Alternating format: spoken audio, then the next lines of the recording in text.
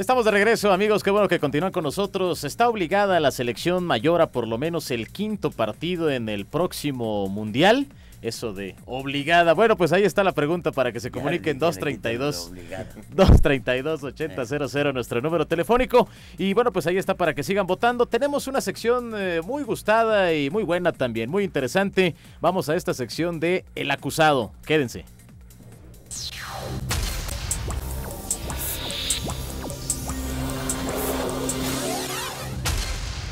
Sentenciado por el propio técnico Tito Vilanova para permanecer en el Barcelona B bajo su propia determinación y tras varias negativas de acudir al llamado de la selección nacional, Jonathan Dos Santos parece estar obstinado en desaparecer de la escena de las contrataciones y la titularidad en algún equipo, por lo menos mediano.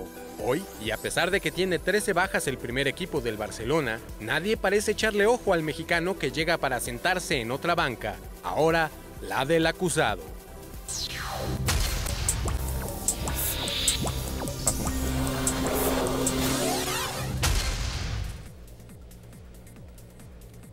Bueno, el acusado es Jonathan Dos Santos, porque se ha negado a venir a la selección nacional pretextando que le interesa mejor quedarse en el Barcelona.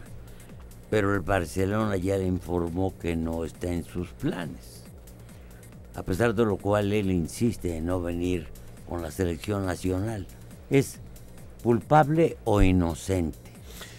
Bueno, señor, eh, yo de entrada lo condenaría. Me parece que Jonathan Dos Santos está echando a perder una posibilidad de una gran trayectoria de convertirse de como su hermano Gio Dos Santos en otro estandarte finalmente de el fútbol mexicano en un futuro, en un futuro, no en este momento. Está construyendo apenas una carrera. Condenado a la banca, hay 13, lo que decían en, el, en la introducción a este, a este material, lo que decían, hay 13 huecos en este momento en el Barcelona por la salida de jugadores a sus diferentes selecciones nacionales.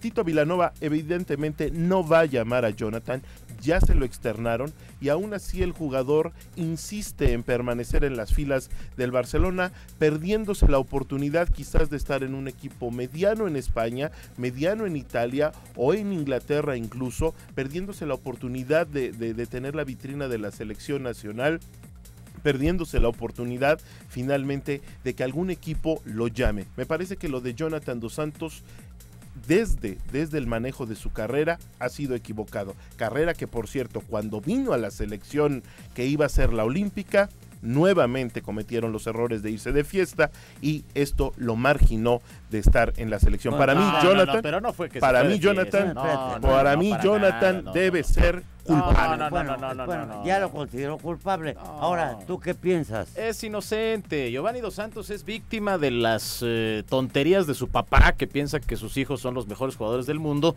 Y al ser un juvenil en ese momento, él no pudo tomar ninguna determinación. Fue el papá el que tomó la determinación de decirle no a la selección nacional, no vas a estar en la selección nacional. Ahora, eso de estandarte, Giovanni Dos Santos con la selección, tampoco estoy de acuerdo, pero bueno, será tema para otro día.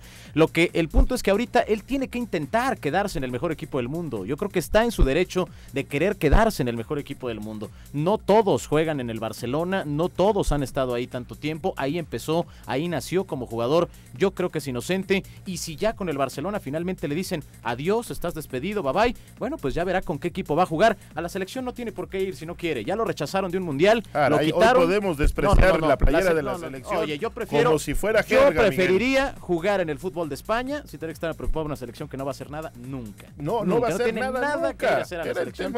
Jamás. No tiene que ir a la selección. Es inocente.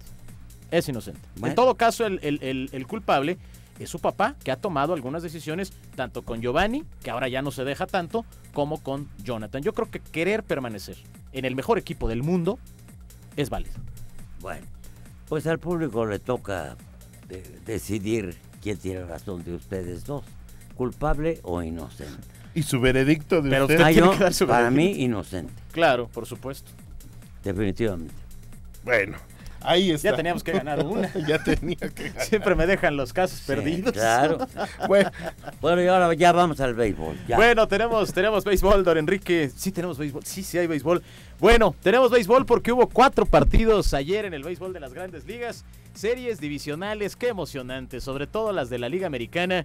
Muy emocionante, amigos, lo de los Yankees ayer, lo de los Atléticos fue verdaderamente espectacular. Aquí estamos viendo imágenes del juego ya nocturno. Este es Joaquín Benoit, que sacó la octava entrada dominando a los Atléticos, el equipo de Oakland que empezó perdiendo los primeros dos juegos en Detroit.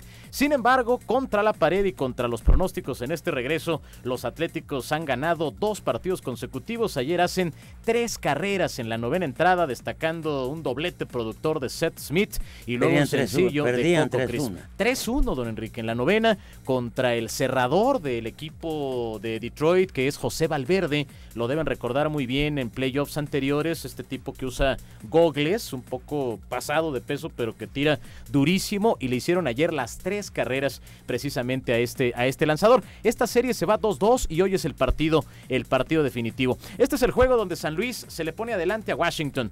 Eh, Chris Carpenter, pitcher que tuvo solo cuatro salidas durante la campaña. Ayer estuvo, pero de verdad extraordinario, un veterano de 37 años. Los Cardenales tienen evidentemente más experiencia en este tipo de partidos que los nacionales. Para Washington es una temporada en la que ya pase lo que pase es una gran campaña, ¿eh? Pero San Luis es el equipo campeón y no olvidar que los Cardenales es el equipo después de los Yankees que más títulos de serie mundial tiene en toda la historia. De modo que sin Tony La Russa, su manager del año pasado, que se retiró, sin Albert Pujols, para muchos considerado el jugador más completo de las grandes ligas, el equipo de San Luis está a un partido, a solamente una victoria de regresar a la serie de campeonato de la Liga Nacional. Sabe más el viejo.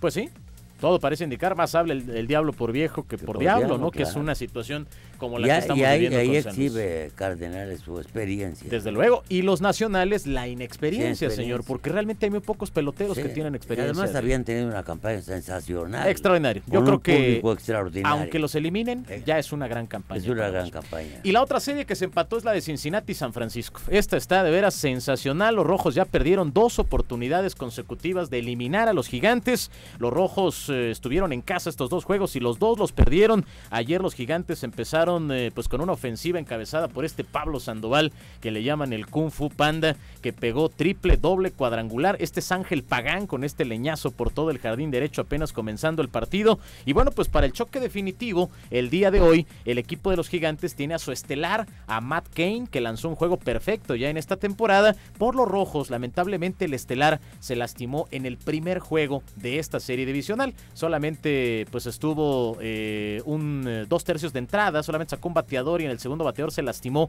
Estoy hablando de Johnny Cueto, que lamentablemente pues no, no, no, no pudo mantenerse, no puede lanzar y entonces Dusty Baker tiene que improvisar hoy con un pitcher de nombre Matt Latos, Matt Leitos, que bueno pues es un pitcher de relevo largo que hoy la verdad es que mete en predicamentos la situación de los rojos de Cincinnati. 2-2 está ese compromiso y el otro juego que creo que fue pues el más visto y el más emocionante pues fue el de los Yankees de Nueva York y los Orioles de Baltimore. Este es Miguel Ángel González, qué Qué pitcher, oye, qué, pitcher, bárbaro. ¿eh? Qué no, pitcher. no, no, tremendo, tremendo. Ya le habíamos platicado, Con don una Enrique solvencia, de el gran nivel que tiene Miguel González. Ganó nueve partidos porque llegó tarde a la campaña. Este es Derek Jeter, que ya había pegado triple productor para empatar el partido. Aquí pega sencillo. Ve nada más lastimado.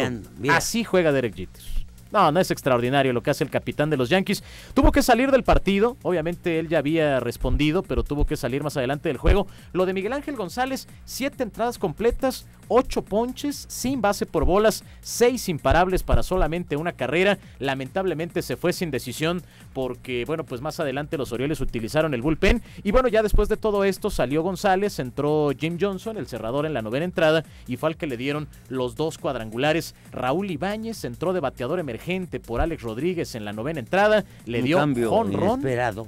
cambio inesperado completamente. Hablamos del jugador pues eh, más caro en Es- toda yo la creo que es historia la de las primera vez que, que le mandan a Alex un bateador Sí, emergente. sí, sí. ¿verdad? Nada más lo habían quitado de batear por lesión. Nunca Ah. lo habían quitado por decisión técnica del manager, que fue lo que sucedió ayer Pero se vio con tan Joe mal, Girard. tan mal, tan fuera de onda, de veras, Claro. estaba, estaba mal que yo, bueno, el manager dice que a veces hay que tomar decisiones Sí. importantes. Y que le Eh, cuesta él- trabajo lidiar con esos jugadores. Sí, eh, él explica que fue una latida, que le latió. sí. Dice que fue un presentimiento. present- Y pues, pues, eh, caray, Dios le dijo, órale, gana. Pues fue un presentimiento que salió de lujo, ¿no? Porque De Raúl lujo. Ibáñez entra de emergente, empata el juego con jonrón Sí. y luego en la decimosegunda entrada contra un pitcher zurdo, ya no era el mismo pitcher de la novena entrada, vuelve a conectar gol. cuadrangular Raúl Ibáñez. El primer jugador en la historia que sin ser titular pega dos home runs en un partido de postemporada. Los Yankees se adelantan 2-1 y hoy se juega el partido número 4 de ganar Nueva York. Ya estarían Mira serie que en ese estadio, para que un jugador salga, para que lo aplaude el público, es muy difícil, ¿eh? Sin embargo, él lo empujaron sus compañeros. Sí, sí, sí. Para salió recibir la ovación. Para la ovación. Raúl Ibáñez. Bueno, ahora imagínate en la décima segunda, cuando da el jorón de No, la qué victoria. locura. ¿no? Era una locura ese Son de esas cosas que, solo pasan en el béisbol. En el Dicho béisbol. con todo respeto para todos los deportes, pero esto solo pasa en el béisbol porque en los deportes que se rigen por tiempo, pues simplemente no hay tiempo a veces de que se den estos milagros y en el béisbol suele pasar este tipo Aquí de no puedes hacer tiempo.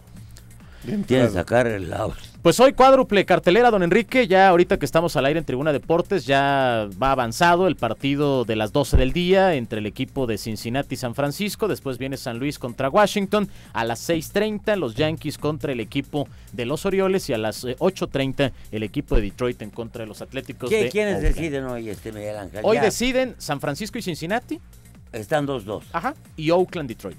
Pero si ganan los Yankees y ganan los Cardenales, también esas series ya estarían definidas. Hay que esperar. hay que O sea que se pueden decidir las cuatro hoy.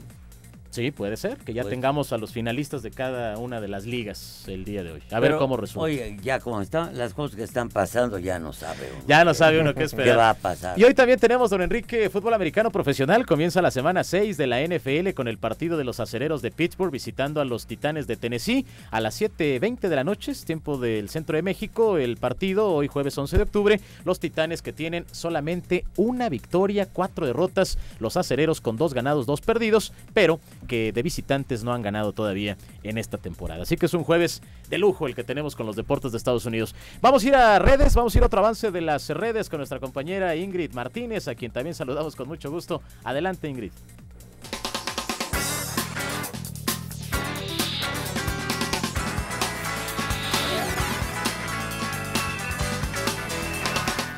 Vamos por nuestro segundo avance de redes sociales y comenzamos con Gerardo-ESPN, quien nos cuenta del director técnico de las Chivas que él dice afecta jugar sin seleccionados al Guadalajara.